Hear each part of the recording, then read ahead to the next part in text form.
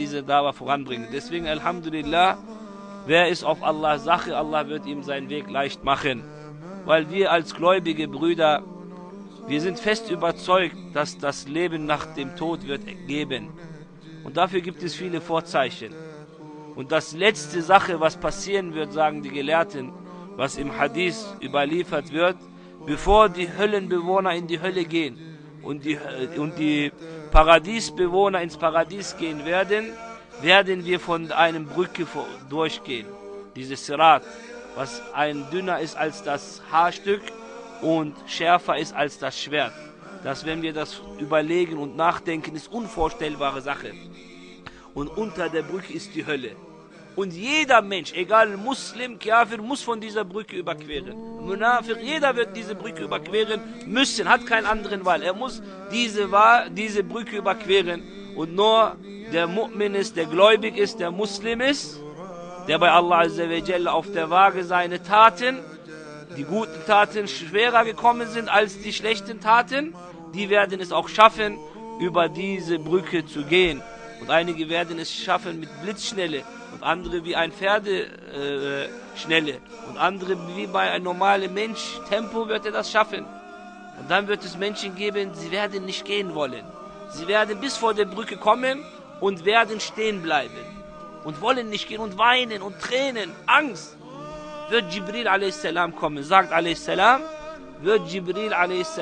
kommen und wird sagen, was ist mit euch? Überquert die Brücke, los. Sagen, wir trauen uns nicht. Wir trauen uns nicht über die Brücke zu gehen, weil wir wissen, wir werden in den Schlucht hineinfallen. Und Prophet sallam sagt, das Stein, was in der Hölle fliegt, bis er den Boden berührt, dauert 70 Jahre. Es gibt keinen Trick, wie man diese Brücke überqueren soll. Jibril sagt, los, geht, ihr schafft es, versucht es. Die sagen, nein, wir dürfen es nicht, wir schaffen es nicht, wir haben Angst. Wisst ihr, was dann Jibril a.s. denen sagen wird? Wie habt ihr die Meere überquert in der Welt? Die Ozeane, die großen Wellen. Wie habt ihr das geschafft? Die haben gesagt, wir haben Schiffe gebaut. Das war das letzte Gespräch, was sie mit Jibril sprechen werden. Wir haben Schiffe gebaut und haben geschafft, durch diese Schiffe die Ozeane zu überqueren.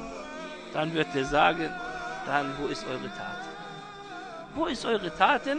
dass ihr heute diesen schwierigen Weg überqueren könnt. Und Alhamdulillah, Dawa, das Ruf zu Allah der Ruf zu der wahren Religion ist die beste Methode und einer der sichersten Wege, wie man diese Brücke überqueren soll. Deswegen keiner soll sich in dieser Sache einfach sehen. Jeder Bruder, jeder Schwester, jede Schwester soll dieses Gefühl haben für die Dauer, soll erzählen, soll den Menschen fragen. Letztens in Berlin bevor ich in die Türkei geflogen bin, bei Abdulaziz Vorträgen haben wir zusammen ein Seminar gemacht. Und dort beim Vortrag, am Ende der Vortrag ist ein Atheist gekommen, ein deutscher Atheist. Alle Brüder sind aufgestanden, sind weggegangen, ich war noch auf meinem Platz. Ist er zu mir alleine gekommen und mit mir waren noch zwei, drei Brüder, die noch mit mir äh, geblieben waren. Und hat gesagt, ich will mit dir sprechen. Ich habe gesagt, was möchtest du? Hat gesagt, ich habe ein paar Fragen habe ich seine Fragen beantwortet, wie viel ich konnte. Dann habe ich gesagt, erlaubst du mir jetzt eine Frage? Hat er gesagt, ja, bitte stell. Was hindert dich, Muslim zu werden? Warum bist du kein Muslim? Hat er überlegt, ein, zwei Minuten, hat gesagt, ich finde keine Antwort. Und er hatte einen arabischen Kollegen mit. Und der arabische Kollege macht mir ständig Zeichen, nicht zu streng, er wird später Muslim werden und so. Der hat gesagt, ich habe keinen Grund, ich will Muslim werden. Und der, der ihn gebracht hat, er dachte, er wird vielleicht nach ein paar Jahren Muslim werden. Das ist sein Arbeitskollege.